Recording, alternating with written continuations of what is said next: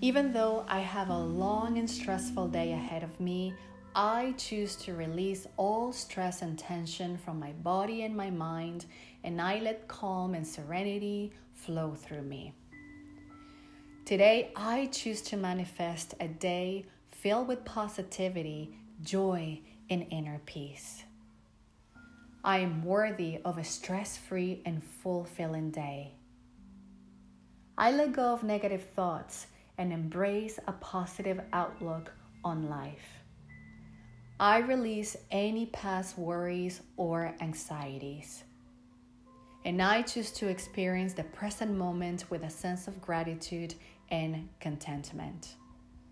I choose to prioritize self care and nurture myself. I am grateful for the gift of this day and I embrace it with an open heart, knowing that every moment holds the potential for growth, joy, and positivity.